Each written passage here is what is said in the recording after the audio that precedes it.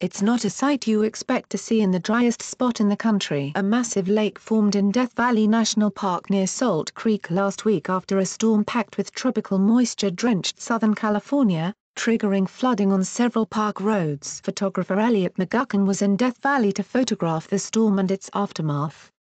on march seven, he took images of the temporary, nameless lake. mcgucken was hoping to photograph badwater basin where he thought water might have also collected, but he couldn't access the area due to flooding and stumbled upon the lake. it's a surreal feeling seeing so much water in the world's driest place, said mcgucken, who also writes books on physics. there's an irony even though i couldn't get down to badwater basin. overall, i think these shots are probably more unique. mcgucken said death valley is usually windy, and when he first arrived at the lake, blustery conditions were creating ripples on the water. then, the wind died down and it got really calm he said. the result was a collection of images with the rugged panamint range, its tallest telescope peak frosted in snow, reflected in glassy waters. nature presents this ephemeral beauty, and i think a lot of what photography is about is searching for it and then capturing it, he said. the exact length of the lake is unknown, but the park emailed a statement to mcgucken estimating it's about ten miles long,